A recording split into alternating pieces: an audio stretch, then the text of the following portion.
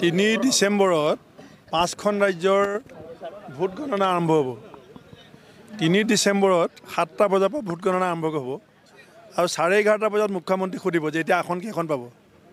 যেতিয়া ভাৰতবৰ্ষৰ পাঁচখন ৰাজ্যত ইলেকশ্যনৰ ৰিজাল্ট তিনি ডিচেম্বৰত চাৰে এঘাৰটা বজাত ওলাই যাব সেই চাৰে এঘাৰটা বজাত মুখ্যমন্ত্ৰী সুধিব যে আপুনি কেইখন পাব।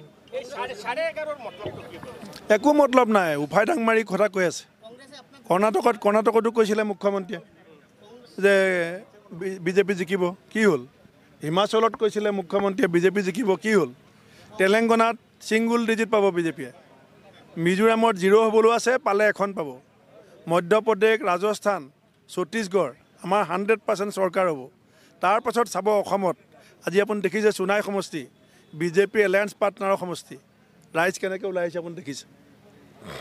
মই আপোনাক এটা কথা কওঁ। কংগনা ৰাণাৱত কংগনা ৰাণাৱত আমাৰ দেশৰ এগৰাকী মোহময়ী জনপ্ৰিয় অভিনেত্ৰী। চিনেমা চলা নাই।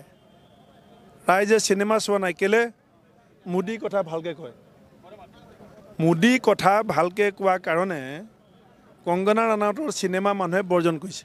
অসমত যতীন বৰা ডাঙৰীয়া কিমান ভাল এক্টৰ।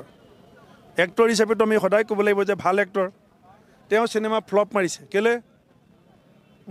মুখ্যমন্ত্ৰীৰ লগত থাকে। পাব্লিক কংগ্ৰেছৰ কথাটো পাছত পাতিব আপুনি। মানুহে কংগনা ৰাণাৱতৰ চিনেমা চোৱা নাই। কেলৈ মোদী কথা ভালকৈ কয়? যতীন বৰা চিনেমা চাবলৈ যোৱা নাই। কেলৈ হিমন্ত বিশ্ব শৰ্মাৰ লগত থাকে? মানুহৰ খং কিমান আছে? এইটো বিজেপি নেতাবিলাকে বুজি নোপোৱা ভাও ধৰি আছে। এই দুখন চিনেমা উদাহৰণ ল'লে গম পাই যাব। আচ্ছা আচ্ছা কৰিম- কৰিমুদ্দিন বৰবৰীয়া কৰিমুদ্দিন বৰবৰীয়াই এটা কথা কৈছে যে লোকসভা লোকসভা নিৰ্বাচনত তেওঁলোকে তিনিখন আসন লাভ কৰিব। কংগ্ৰেছৰ কেইটা আসন লাভ কৰিব এইটো ভূপেন বৰাই ঘোষণা কৰক। আজি সোণাই সমষ্টিত যিমান ৰাইজ আহিছে এই সমষ্টিটো যদি তেওঁ ৰাখিব পাৰে তেনেকুৱা পৰিৱেশ পৰিস্থিতি আছেনে নাই? তেওঁক সেইখিনি আগতে ভালকৈ চাবলৈ কওক। বেছি এতিয়া অসম অসম কৰিব নালাগে। এতিয়া সোণাইত তেওঁৰ ভেটি আজি কি হৈছে? সেইটো আহি পেলাই গধূলা খবৰ ল'বলৈ কওক আচ্ছা বাংলা বাংলা পেনাৰ বাংলা পেনাৰ ফালি দিয়া হৈছে পূজা মণ্ডপ। সেইটো লৈ কি ক'ব আপুনি বৰাকৰ ৰাইজৰ মাজত বহুত যথেষ্ট ক্ষোভ নাই আমি আমি সকলো জাতি সকলো জনগোষ্ঠী সকলো ভাষা সকলো সংস্কৃতিক আমি সদায় সমান সন্মান কৰি আহিছোঁ। মোৰ আই মোৰ কাৰণে যিমান গুৰুত্বপূৰ্ণ আপোনাৰ আয়ো আপোনাৰ কাৰণে সিমান গুৰুত্বপূৰ্ণ। আমাক ডক্টৰ ভূপেন হাজৰিকাই শিকাইছিলে যে আনৰ আইক ভাল পালে নিজৰ আইক বেয়া পোৱা নুবুজায়।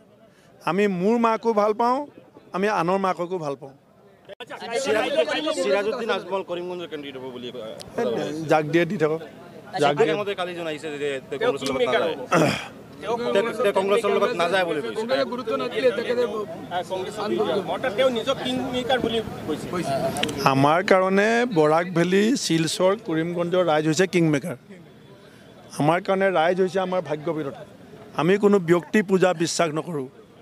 আৰু আমি আদৰ্শক লৈ পেলাই ৰাজনীতি কৰিছোঁ।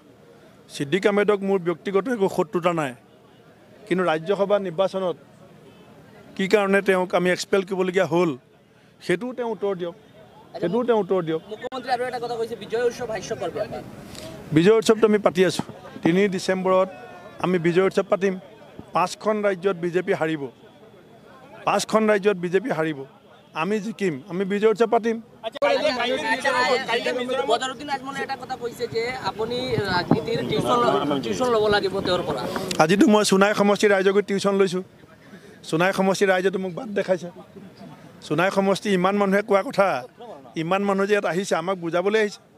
বিয়ের অনুষ্ঠানকে স্মরণীয় করে তুলতে সাজসজ্জার বিকল্প নেই। তাই এ নিয়ে বিয়ের অনুষ্ঠানের আগে থেকেই মিয়া বিবির টেনশনের অন্ত নেই।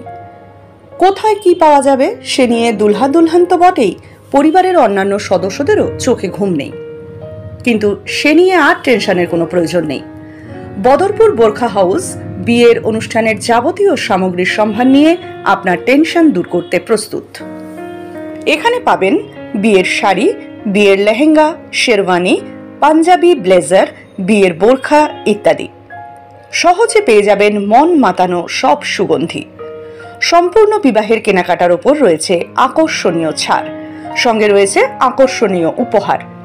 তাই আর দেরি না করে বোরখা হাউস বদরপুর থেকে কেনাকাটা করুন এবং আপনার উপহারটি নিয়ে যান। এছাড়াও সুলভে পেয়ে যাবেন হজ ও ওমরা যাওয়ার যাবতীয় সরঞ্জাম যেমন ব্যাগ, এহারাম, বেল্ট, কটন এরাম সহ যাবতীয় সামগ্রী। বোরখা হাউসের ঠিকানা Borkha house, ST road Badarpur চৌমাথা সেন্ট্রাল ব্যাংকের বিপরীতে।